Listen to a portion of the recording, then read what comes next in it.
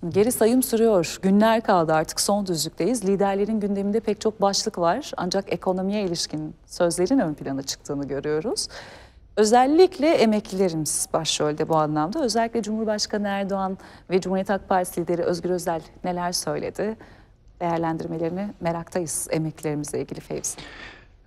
Evet, de emeklilerin ciddi bir rahatsızlığı söz konusu. Daha özelde de büyük şehirlerde yaşayan ve en düşük emekli aylığıyla geçinmeye çalışan vatandaşlarımız dertli. Bu konuda bir e, adaleti sağlayıcı adım beklentisi çok yüksek. Ben bu beklentinin seçim sonuçlarına da doğrudan etki edeceğini değerlendiriyorum. Tam da bu anlamda e, CHP Genel Başkanı Sayın Özgür Özel emekliler konusunu gündeminde e, tutarak e, bu konuda adım atılması gerektiğine dair çağrıda bulunuyor. Elbette Cumhurbaşkanı Erdoğan da e, adaletin sağlanamadığı konusunda bir tespit ortaya koydu ve sorunları çözerse AK Parti çözer dedi. E, dolayısıyla liderlerin e, gündemine e, seçim sonucuna doğrudan etki edecek bir mesele olması dolayısıyla emekliler konusunun e, gelmiş olması sürpriz değil.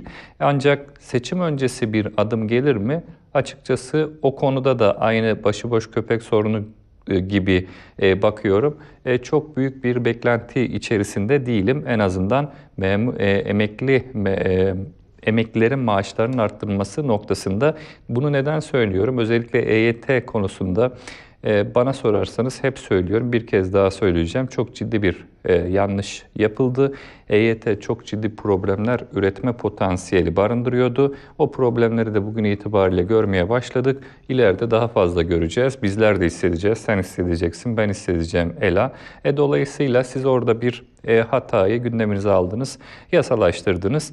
E, bugün onun, onun ekonomi üzerine, hazine üzerine yarattığı bir e, külfet var. E, yeni külfetler ekleme taraftarı mı e, bu anlamda ekonomi çevreleri açıkçası değil. Ama memur e, bu anlamda emeklilerimizin beklentileri var.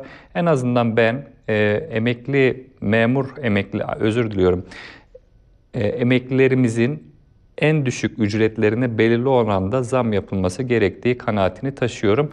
E, bugün de kabine toplantısı var. Bu kabine toplantısında elbette bu husus değerlendirilecektir. Elbette bazı çevrelerce e, düşük emekli aylığında iyileştirme ya da emekli ikramiyesinin arttırılması noktasında bugün kabineden karar çıkabileceği ifade ediliyor.